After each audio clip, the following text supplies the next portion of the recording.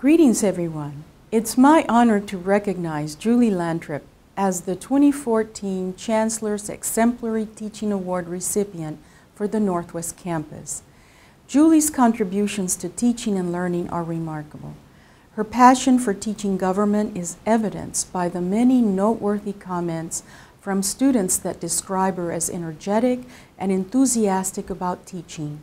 As co-director of the Cornerstone Honors Program, she has been instrumental in fostering innovative learning opportunities, including service learning activities. Dr. Lantrip holds a law degree from Harvard and a PhD from Georgetown University.